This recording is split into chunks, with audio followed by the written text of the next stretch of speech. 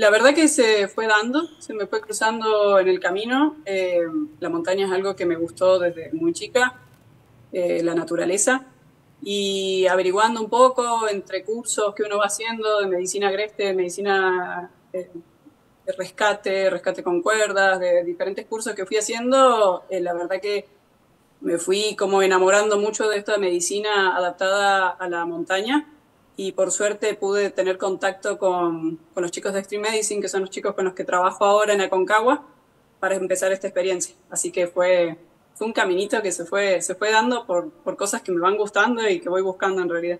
Ahora estoy, estamos trabajando oficialmente en el Parque Aconcagua, así que es durante la temporada, que es desde mediados de noviembre hasta mediados de marzo. Esa es la temporada de Aconcagua. Habitualmente trabajamos en consultorios fijos que están a 3.000, a 4.000 y a 5.600 metros.